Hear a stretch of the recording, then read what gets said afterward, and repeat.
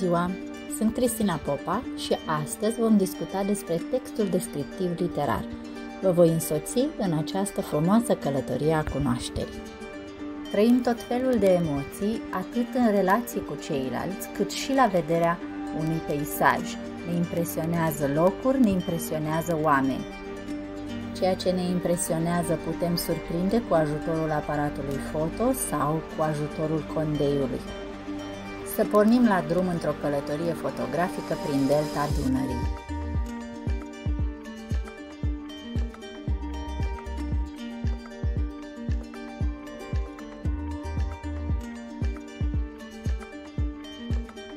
Prin intermediul descrierii literare pot fi surprinse atât caracteristicile unui obiect, loc fenomen al naturii, înfățișarea unor personaje, portret fizic, portret moral sau cadrul temporal sau cadrul spațial al unei acțiuni.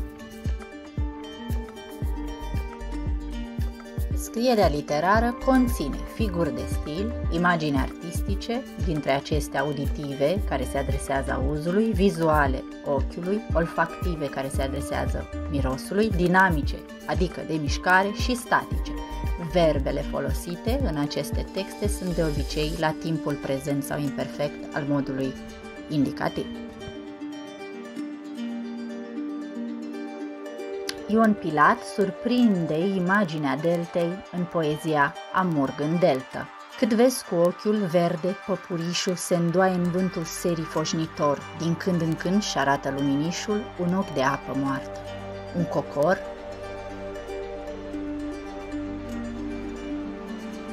Cu aripa deschisă se ridică, din stuf sfâșietor de trisc încint, sau cai tătar din roată fără frică, sălbăticiți nechează pe un grind.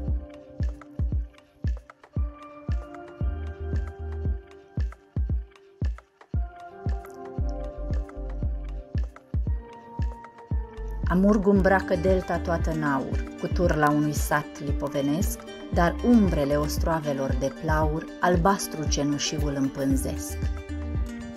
Dintre imaginile artistice prezente în poezia Amurg în delta de Ion Pilat se remarcă cât vezi cu ochiul verde păpurișul se îndoaie în vântul serii, imagine vizuală, sau cai tătar din roată fără frică nechează pe un grind, imagine auditivă, imagine dinamică, vaporul taie noaptea șoptitoare sau o imagine statică, un ochi de apă moartă.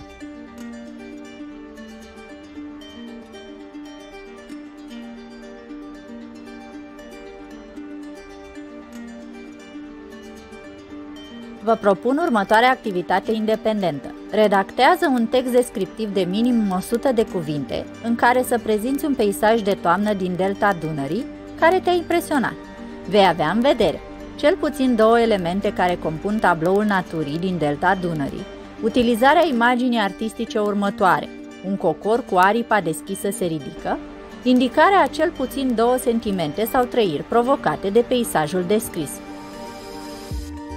Aveți scris și punctajul ce se acordă compunerii.